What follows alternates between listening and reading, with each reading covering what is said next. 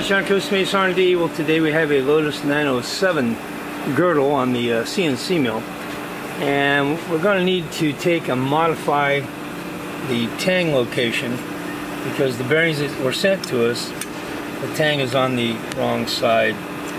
And we've already done one over here where we've actually machined it where the bearing fits in like it should. Try and get it in here. And there we go. So we're going to be taking and modifying the other four bearings and we're going to show you how that's done. Okay, well I've got the uh, end mill lined up where I want it. Now take and put it down to a specified depth. This is about a quarter of an inch.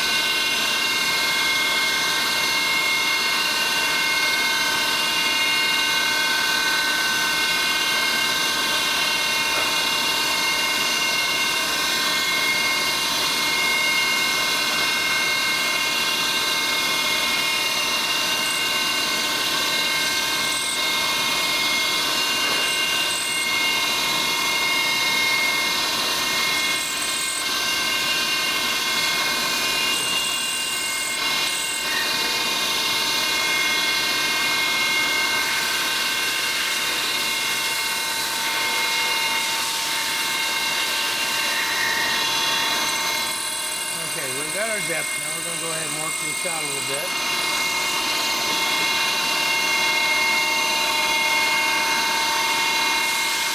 And go back in and take it in about another 10 or 15,000.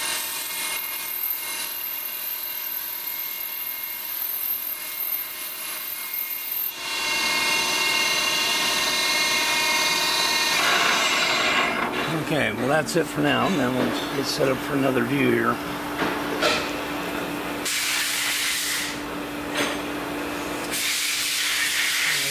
Bearing.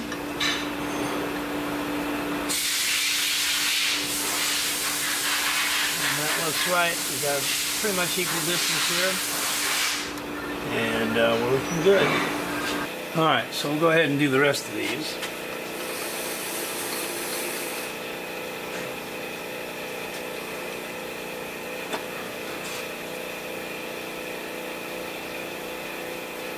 All I'm going to do is try and line this up between the two scribe lines I've got here.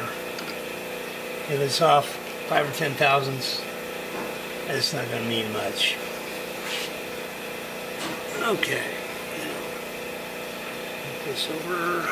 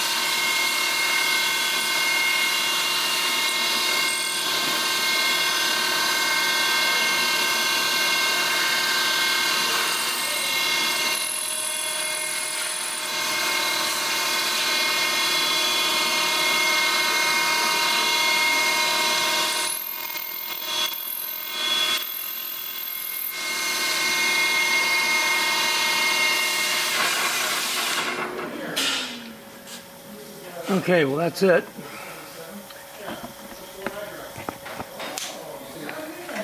Get them all cut. And uh, now it's ready to go back over uh, to get cleaned out. And uh, we'll be ready to put this thing together.